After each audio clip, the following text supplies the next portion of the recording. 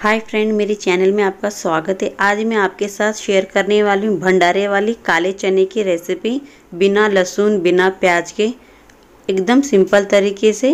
चलिए ये वाला वीडियो आपके साथ शेयर करती हूँ। वीडियो पसंद आए तो लाइक शेयर और सब्सक्राइब करना ना भूलिए।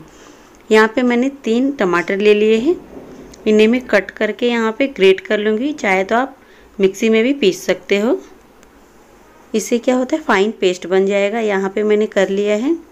ये देखिए, मैंने काले चने को रात को ही भिगो दिया था। भिगोने के बाद इसे मैं तीन सीटी लगा लूँगी कुकर में। आपने अगर पहले नहीं भिगोया तो आप दो घंटे के लिए भी भिगो सकते हैं गर्म पानी में। यहाँ पे मैंने कढ़ाई गरम कर ली, उसमें थोड़ा सा तेल डाल दूँगी मैं। थोड़ा सा जीरा वन फोर चम्मच के करीब। यहाँ पे एक चम्मच के करीब मैंने अदरक डाल दिया है, किसा हुआ। इसे थोड़ा सा सौते कर लेते हैं हम अभी। और यहाँ पे मैं आधा चम्मच के करीब मिर्ची मिला दूँगी रेड चिली वन फोर चम्मच हल्दी और यहाँ पे स्वादानुसार मैं नमक मिला दूँगी। सेंधा नमक जो हम व्रत में खाते हैं, अच्छे से इन्हें चला देना है। और यहाँ पे जीरा पाउडर मिला दूँगी मैं आधा चम्मच के करीब। और यहाँ पे जो हमने तीन टमाटर शेड किए थे, वो मैं ऐड कर लूँगी। और इन्हें हमें अच्छे से भूनना है हमें। जितना आपका मसाला अच्छे से भुनेगा, उतने ही आपका यहाँ पे चने अच्छे बनेंगे। देखिए, यहाँ पे भून लेती हूँ अच्छे से। इसे हमें भुनने में तीन से चार मिनट लग जाएँगे। बहुत ही सिंपल तरीके से बना रही हूँ। बहुत ही अच्छे लगते हैं काले चने ये। व्रत में खाए जाते हैं। ये देखिए, जो मैंने बॉईल किया था चना, उसे ऐड कर दूँगी।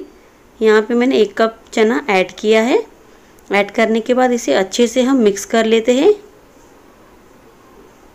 मिक्स करने के बाद आपको इसे और दो से तीन मिनट के करीब पकाना है इसे, ताकि अच्छे से फ्लेवर मिल सके। ये देखिए, मैं थोड़ी देर के लिए यहाँ पे ढक दूँगी। चलिए, यहाँ पे दो मिनट हो चुके हैं। ये देखिए, हमारे काले चने कितने अच्छे हैं यहाँ पे बन रहे हैं। और थोड़ा मैं इसे पका लूँगी। एक से दो मिनट में और पका लूँगी इन्हें। इसके बाद हमारे काले चने बिल्कुल भी रेडी हो जाएँगे। ये देखिए, यहाँ पे बन चुके हैं हमारे काले चने। बहुत ही टेस्टी बिना ज़्यादा मसालों के भी। ये देखिए, हमारे यहाँ पे सर्व कर दिया है मैंने। बहुत ही अच्छी बनी है रेसिपी प्लीज़ अगर ये रेसिपी आपको अच्छी लगे तो मेरे चैनल को लाइक शेयर और सब्सक्राइब करना ना भूलिए। ऐसे ही मैं लाती रहूँगी आपके साथ नई नई वीडियोस इन नवरात्र में। चलिए, मैं मिलती हूँ आपके साथ। नए वीडियो में इसी के साथ बाय।